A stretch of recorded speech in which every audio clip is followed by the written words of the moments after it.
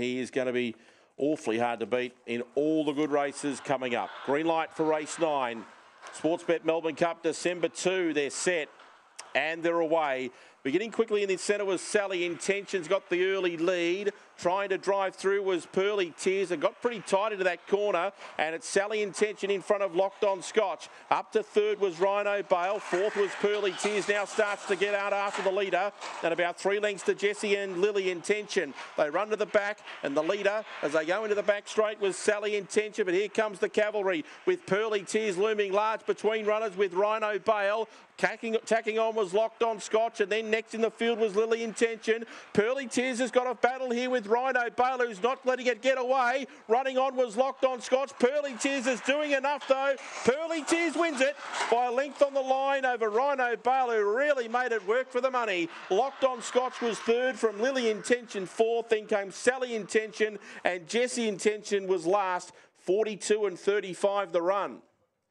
Number two, Pearly Tears, has been able to score at the short odds didn't put away Rhino Bale until well into the home straight, who uh, really made it work. But in the end, the favourite's just been a little bit too good, and it is two beating one and eight. Two, one, and eight will be the numbers on race number nine. 614, 1602, and 1130 for the run home section. 42 and 34 the gallop. 218 and 7 confirmed.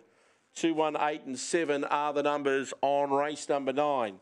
Pearly Tears by Goodsy out of freaky tears for Robert Britton, and it's win number 7 from 15 starts and 3 out of 3 over the long trip here at Sandown.